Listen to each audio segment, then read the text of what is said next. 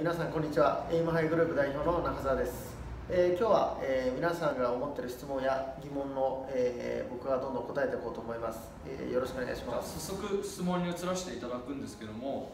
え質問としてパーソナルトレーニングとはどういうものかという質問をいただいたんですけどもそちらについて詳しくよろしくお願いします。えーパーソナルトレーニングというものは、まあ、基本的に、えーマンツーマンで、えートレーニングを、えー行っていく。トレーナーとマンツーマンでやっていくことによって、えー正しいフォームで、えートレーニングをやる、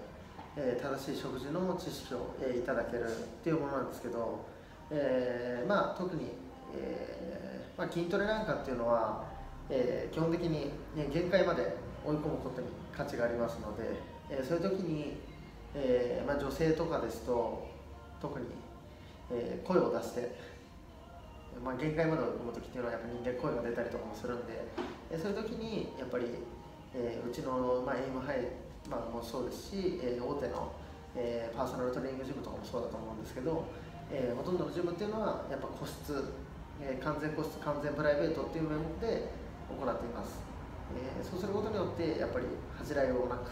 恥じらいもなく、えー筋力トレーニングを、えーできるっていうのがパーソナルトレーニングのメリットだと思いますね。なるほど。次の質問に移らせていただきます。えっ、とエイムハイのパーソナルトレーニングジムでは、えーどういったトレーニングを行うかっていう質問をいただいたので、えーそこのところよろしくお願いします。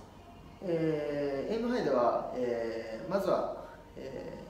筋力トレーニングを最初にやっていただきます。基本的な、えー基本的なトレーニングメニューなんですけども、えー筋力トレーニングをやはりやってきます、えーそこは、えなぜ筋力トレーニングを行うかというのは、えまあ、後々また詳しくは、え話していこうと思うんですけども別の回の時に、えー筋力トレーニングをやはり行わないと、え基本的にダイエットは成功しづらいです。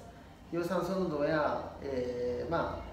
緩いトレーニングではやはりちょっと限界があるのでしっかりと、え追い込むような筋力トレーニングを行っていきます、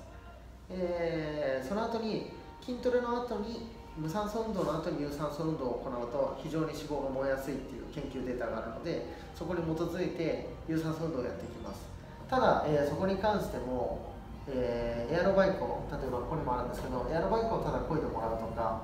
トレッドミルで走ってもらうとかそのようなものではなく、えーできないことということで、えー、エイムハイのトレーナーはみんな、えーキックボクサーの、えープロの資格を持ってる方がみんなトレーナーであるので、えーまあ、キックボクシングをエクササイズにして、えー最後にミット打ちをやりながらそれを有酸素運動にしましょうというコンセプトで今やっている状態ですね。なるほど。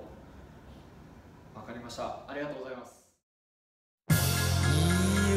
what's up, brothers and sisters? This your boy AK69 with the MS Entertainment.